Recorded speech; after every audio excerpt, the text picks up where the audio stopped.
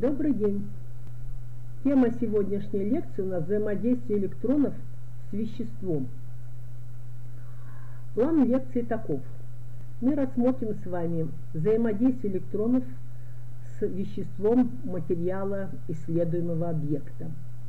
Мы поговорим о упругом и неупругом рассеянии первичного пучка электронов. Все современные методы анализа образцов материалов, как, э, скажем, металлических, так и неметаллических материалов, которые получаются в результате наших экспериментов, они основаны на непосредственном изучении макро, микро, тонкой структуры. И вот если мы изучаем макро микро, тонкую структуру образцов, все эти методы относятся к дифракционным методам исследования. Теоретические основы дифракционных методов исследования базируются на представлении механизмов процессов, которые происходят при взаимодействии исследуемого объекта и с на образец электромагнитной волной. Именно с этой точки зрения нас и интересуют вторичные сигналы, получаемые при взаимодействии первичного пучка электронов с материалом исследуемого объекта.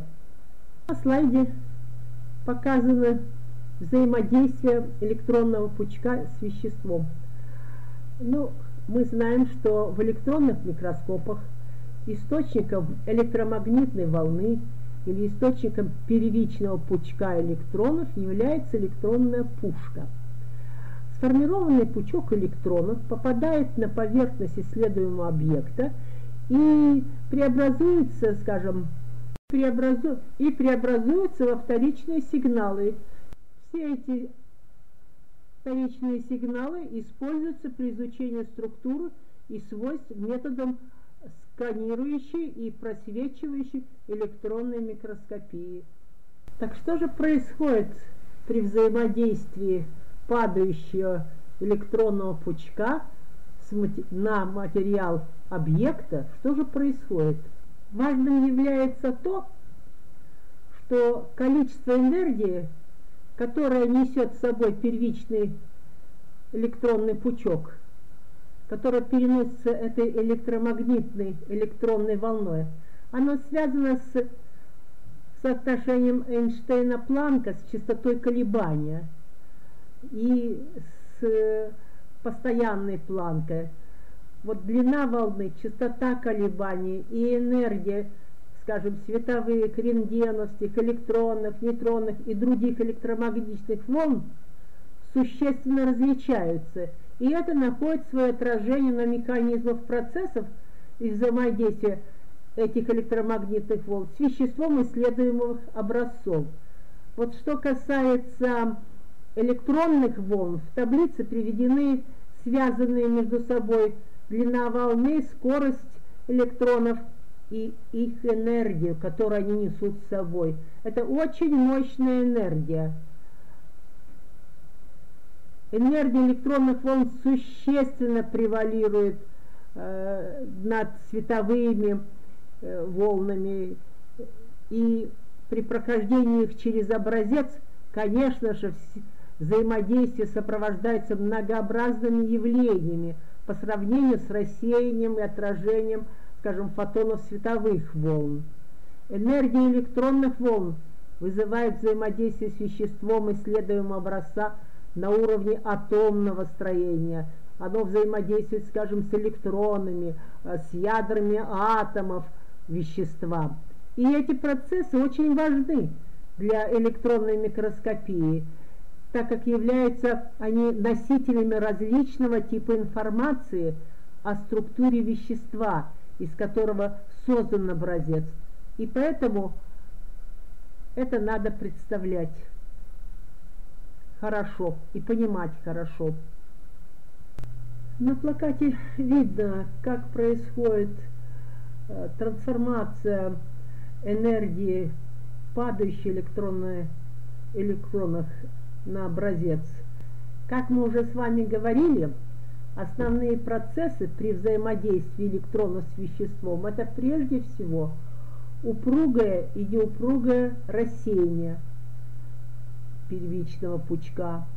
Это дифракция электронов, скажем, и генерация электромагнитного излучения. Давайте поговорим о рассеянии электронов.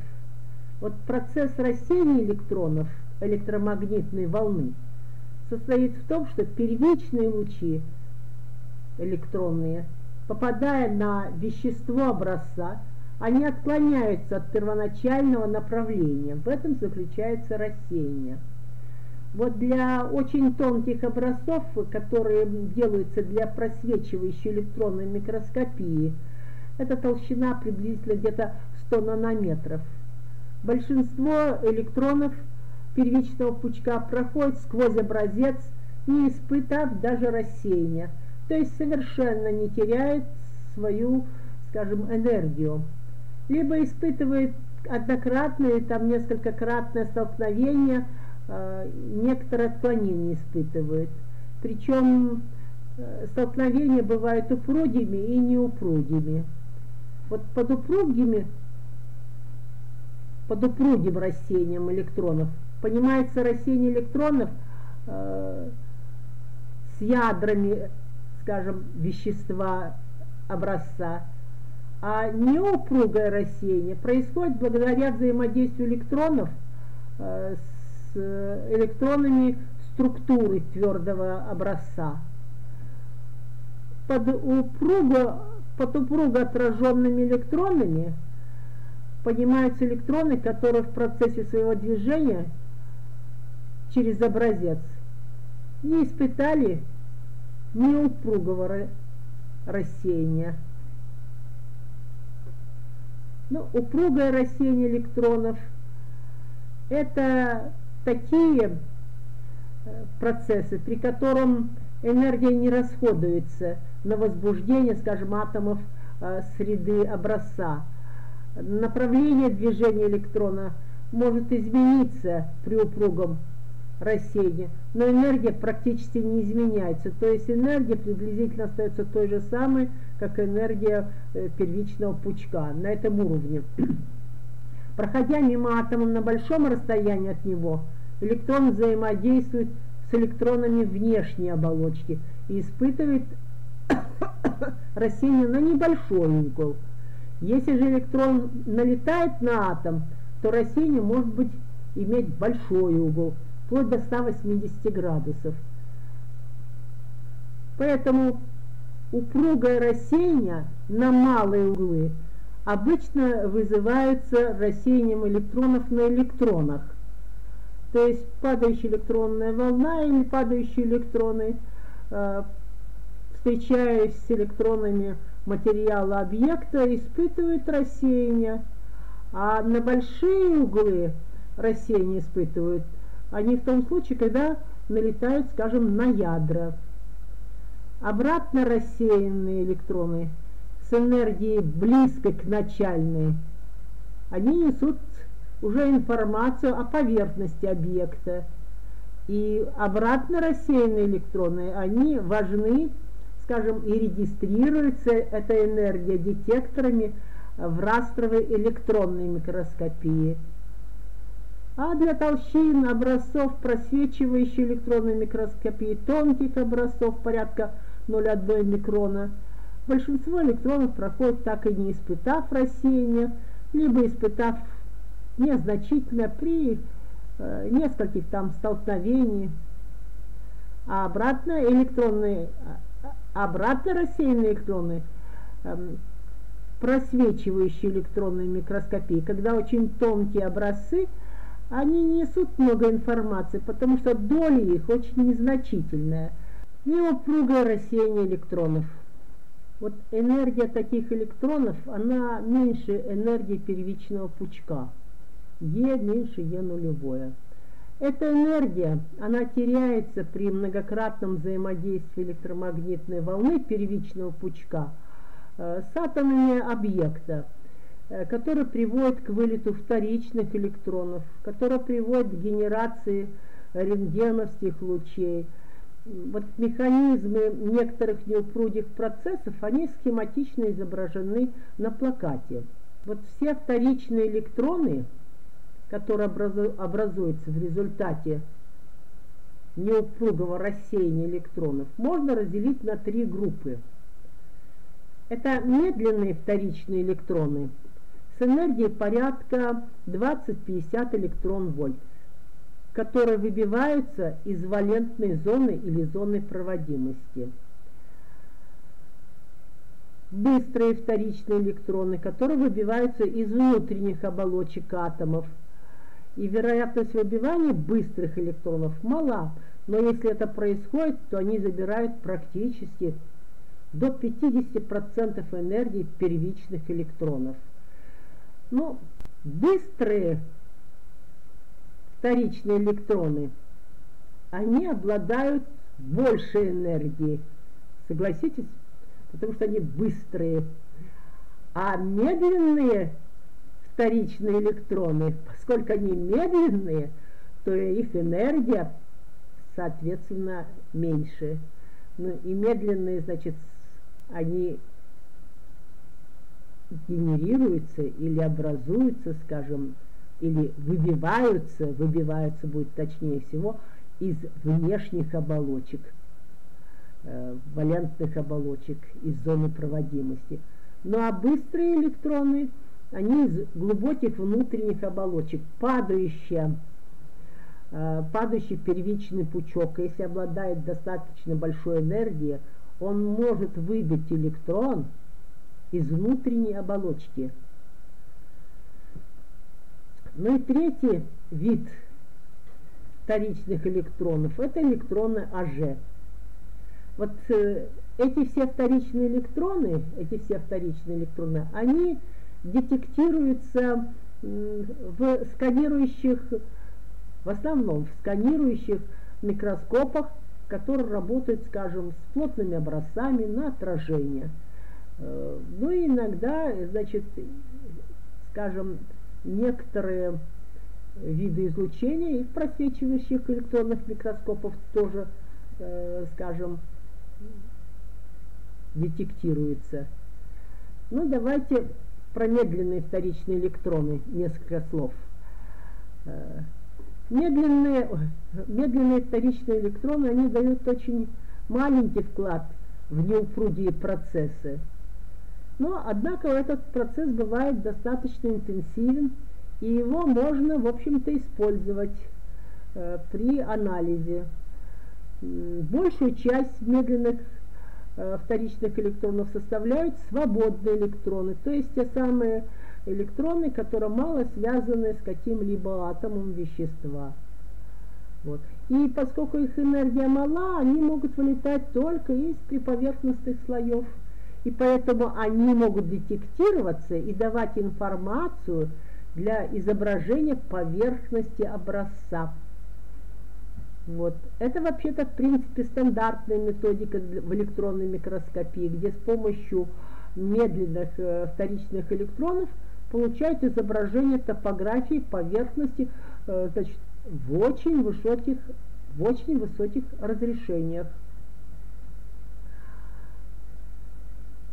Ну, как мы уже поняли, они образуются в результате взаимодействия с атомами образца, электроны первичного пучка передают часть своей энергии электронов из зоны проводимости, то есть слабо связанным с атомными электронами. И в результате такого взаимодействия может происходить отрыв электронов и, ионизация атомов. Эти электроны обычно обладают небольшой энергией до 20-50 электронов-вольт. Любой электрон первичного пучка обладает энергией достаточной для того, чтобы появилось несколько вторичных электронов.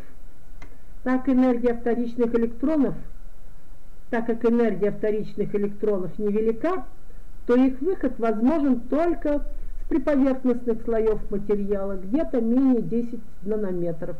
Благодаря небольшой кинетической энергии эти электроны легко отклоняются с небольшой разностью потенциалов, и это делает возможность существенно повысить эффективность детекторов, э, собрать максимально возможное количество информации об этих электронах и получить более качественное изображение. Принимая во внимание, что вторичные электроны генерируются при поверхностными слоями, они очень чувствительны к состоянию поверхности. Минимальные изменения отражаются на количестве собираемых электронов. Э, таким образом, этот тип электронов несет в себе информацию о рельефе образца. Однако они мало чувствительны к отношению, э, в отношении плотности материалов, Э, в отношении, значит, фазового состава, фазового контраста. Быстрые электроны. Быстрые электроны могут иметь энергию 50-200 килоэлектрон вольт. Так что быстрые вторичные электроны вылетают из больших глубин образца. Это приводит э, к ухудшению пространственного разрешения при микроанализе э, в анализирующих э, электронных микроскопах. Вот. Быстрые вторичные электроны нежелательны, особенно в просвечивающих электронных микроскопах. И вместе с тем они, в общем-то, неизбежны. Они не используются при формировании изображения объекта исследования или для скажем, для анализа, для спектроскопии. И при этом они ухудшают разрешение э, спектроскопическом анализе и формировании изображений. АЖ-электроны. АЖ-электроны, как уже было сказано, они образуется, скажем, в два этапа. На первом этапе первичный пучок электронов, первичный, выбивает электрон с К-оболочки внутренней, а на втором этапе образующаяся вакансия на К-оболочке, она заполняется э электроном соседней оболочки, а избыток энергии – между энергией К, энергией электрона К оболочки и L оболочки испускается в виде лжеэлектрона. Это излучение называется излучением ОЖ-электронов. Образующаяся вакансия на L оболочке заполняется электроном из внешней валентной оболочки, например, М оболочки, если там есть она есть. И остаток энергии излучается в виде низкоэнергетического фотона. То есть получается, что такой вот сложный процесс. Сначала выбивается внутренний электрон, этот электрон в соседней оболочке попадает, а, на эту вакансию попадает электрон в соседней оболочке, разница энергии спускается в виде уже электронов, а на место, образовавшейся вакансии, заполняется из внешней оболочки электрон, и разница излучается в виде энергетического такого фотона, низкоэнергетического фотона. Э, уже электроны имеют э, характеристический спектр, который зависит от электронной структуры атома и почти полностью он идентичен спектру характеристического рентгеновского излучения. Но для G-процесса надо отметить, что он более вероятен в атомах с малой энергией связи электронов, то есть для легких элементов. Э, типичные энергии G-электронов находятся в интервале от нескольких сот электрон-вольт до нескольких килоэлектрон-вольт – надо отметить, что уже электроны сильно поглощаются в образце. Поэтому регистрированные же электроны вылетают в основном из ближе приповерхностных слоев. Э, но, однако, уже электронная спектроскопия является признанным методом химического анализа, причем поверхности химического анализа и характеристическое рентгеновское излучение не может конкурировать с уже электронами, а, поскольку излучается из толщи образца. Уже электроны докладывают Уже электронная спектроскопия, скажем, накладывает особые требования на чистоту поверхности образца и на высокий, э, ультравысокий вакуум электронных микроскопов. Ну, правда, уже спектроскопия встречается лишь в отдельных э, микроскопах электронных специальных, но развитием, может быть, электронной микроскопии, лжеспектроскопия имеет какие-то перспективы. Ну, говоря о генерации вторичных излучений, нельзя сказать, не сказать о генерации электронно-дырочных пар и катодолюминесценции. Вот в полупроводниковых и диэлектрических образцах при, при, при прохождении электронов первичного пучка протекают процессы, которые сопровождаются возникновением электронно-дырочных пар. Электронно-дырочные пары, они рекомбинируют между собой, и при этом излучается фотон. Вот этот процесс называется катодолюминесценцией. Процесс используется при исследовании полупроводников, дефектов, примесей в них – ну, в основном катодолюминесценция используется в сканирующей электронной микроскопии, но могут использоваться, ну, хотя достаточно редко, в просвечивающей электронной микроскопии. Но говоря об, скажем, взаимодействии первичного пучка электронов, электронов с материалом образца, нельзя не сказать о генерации плазмонов и фанонов. Плазмоны и фаноны, они являются коллективными возбуждениями в твердом образце. Плазмоны представляют собой продольные коллективные колебания валентных электронов, которые быстро затухают в течение каких-то фемтосекунд. Так что эти колебания, эти волны, они локализованы в пределах до 10 нанометров. Плазмоны возникают в любом материале, который имеет слабо связанные электроны, но доминирует в основном в металлических образцах, металлах, особенно в таких металлах, э, как алюминий, у которых имеется высокая плотность свободных электронов – Энергия плазмонов зависит именно от плотности свободных электронов, но и зависит от химического состава. Но, тем не менее, это пока не используется в микроанализе. Вот зависимость, допустим, э, от химического состава, если, то можно было, допустим, фиксируя плазмонную энергию, э, говорить о микроанализе. Но надо сказать, что фаноны, фаноны, в отличие от а, плазмонов, являются колебаниями решетки, квантовыми колебаниями решетки. Если плазмоны – это колебания электронов, плоскостное колебание электронов, то фаноны – это колебания решетки, то есть тепловые колебания – Механизмы генерации фононов могут быть э, как прямые, так и непрямые. Но прямые это значит что? Прямые, они обусловлены самым обычным элементарным актом рассеяния.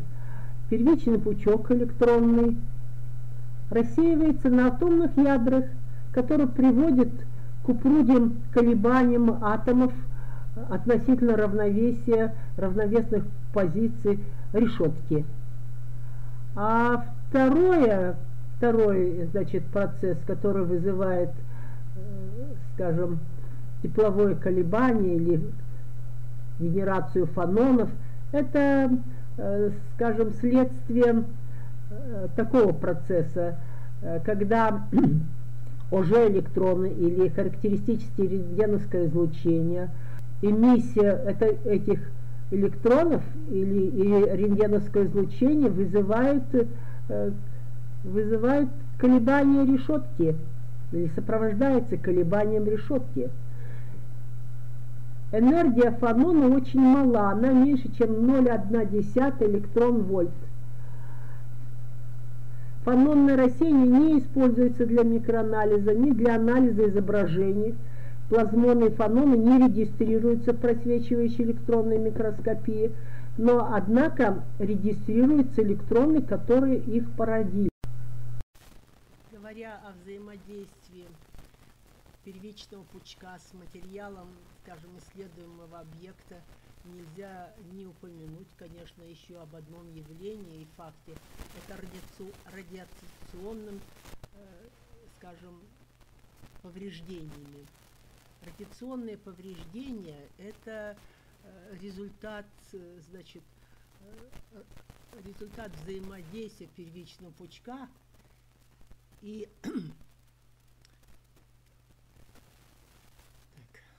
говоря о взаимодействии первичного пучка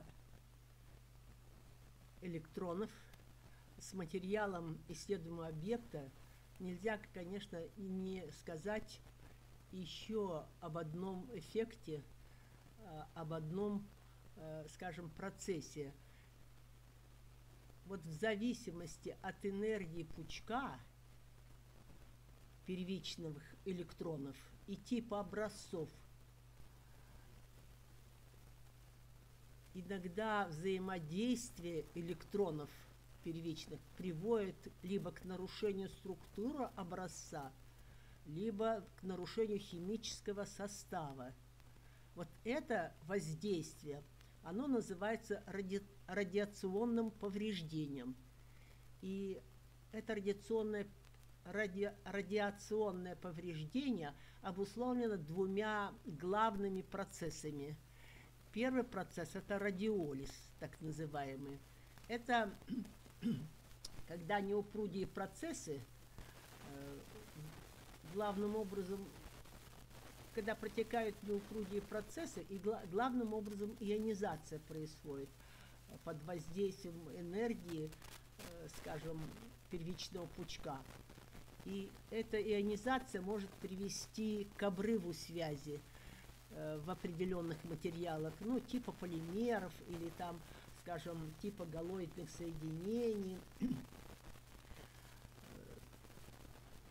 И второй процесс – это когда происходит выбивание. Выбивание какое? Значит, первичный пучок электронов выбивает из материала объекта исследования, из узлов решетки –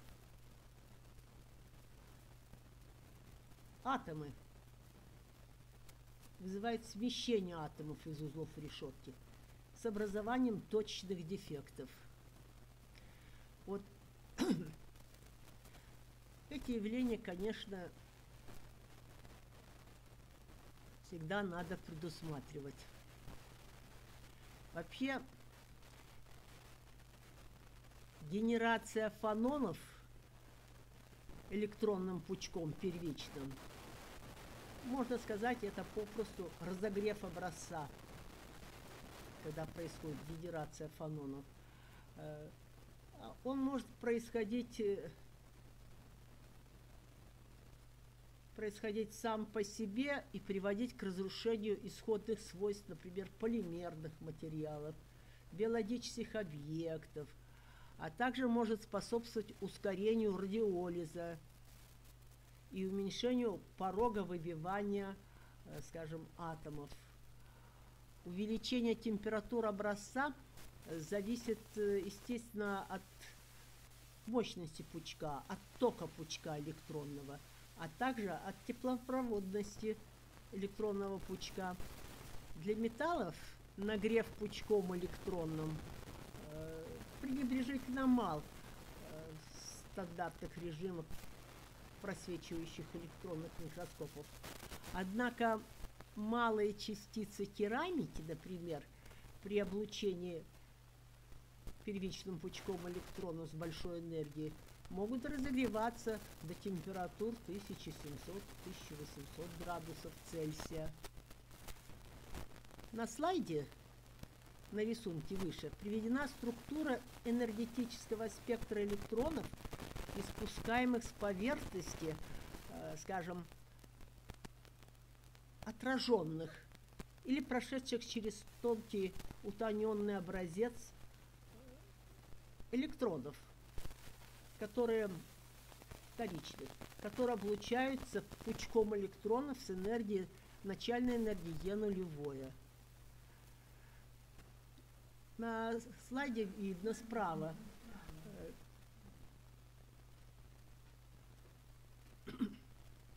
Кроме пика истинных упругорассеянных электронов, э, спектр содержит широкий пик вторичных электронов, энергия которых от 0 до 50 где-то приблизительно электронов-вольт.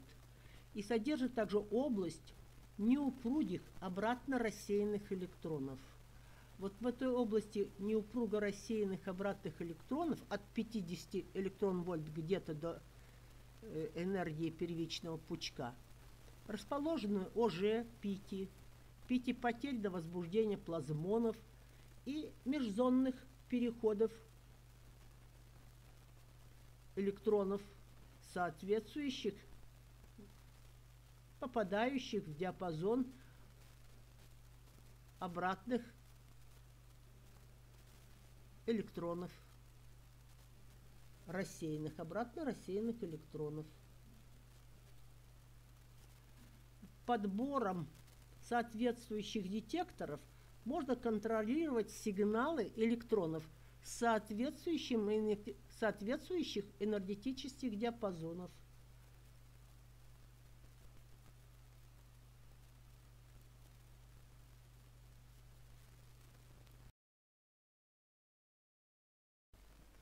Вот при облучении первичным пучком электроном поверхности образца э, электроны в образце рассеиваются во всех направлениях и занимают э, некоторый объем сигналы, вернее, занимают некотор, и некоторый объем, значит, в некотором объеме испускаются сигналы вторичные. Э, но надо сказать, что эта область достаточно большая. Если первичный пучок будет электронов порядка 10 нанометров – то в диаметре вот эта область занимает порядка 2 мкм, микрон. Ну, 2 микрона против 10 нанометров – это область в 100 раз больше, чем, первич, чем диаметр первичного пучка. Ну и сами, сами по себе области, значит, объемы, скажем, там занимают определенную область. Посмотрите, вот область 1, область 1. Это область АЖ электронов. Это очень узкая область, мы уже говорили с вами. Затем следует область вторичных электронов, уже достаточно большая, занимающая до, до 10 нанометров. И, скажем, отраженные электроны, отраженные электроны занимают вообще очень большую область э, в объеме образца. Ну, посмотрите, сравните тормозное рентгеновское излучение. Это область, которая занимает вообще, скажем, с объема какого-то, объема глубины достаточной э, образца. В то время как, допустим, уже электроны занимают только тонкий-тонкий поверхностный слой. То есть, если мы делаем э, анализ, химический анализ – за счет э, рентгеновского излучения, анализируя рентгеновское излучение, мы берем более глубокий слой, который анализируется. А если мы анализируем поверхность образца, то, конечно, лучше использовать ОЖ электроны. Ну,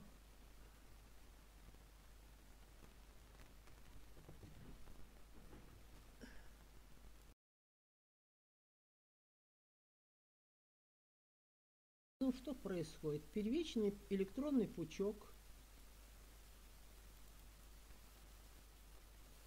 попадая на поверхность образца, проникает, в случае, если проходящий электронный микроскоп, э, взаимодействует с материалом образца. И в результате этого мы имеем с вами вторичные какие-то сигналы. Вот подбором соответствующих детекторов, детекторов, которые контролируют какой-то определенный сигнал определенного энергетического диапазона, мы можем судить о структуре исследуемого образца. Вот то многообразие электронных микроскопов с различными техническими характеристиками, они как раз-таки объясняются этим. Ну, во-первых, разнообразием, разнообразием процессов, происходящих при облучении электронными волнами, электромагнитными волнами, скажем так, объекта исследования.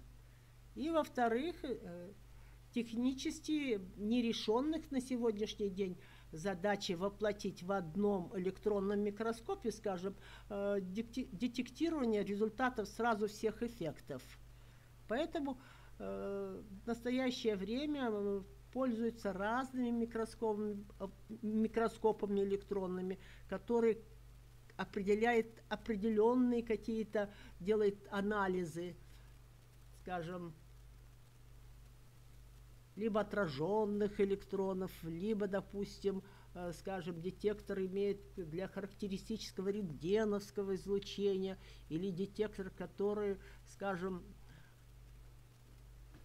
прошедших электронов смотрит результаты, или катодоиллюминесценцию изучает, и так далее, и так далее. Вот это вот многообразие, оно как раз таки поэтому и существует. Так, и ну и что я должна сказать вам, что на этом тема сегодняшней лекции у нас завершена. Это первое. А, во-вторых, значит,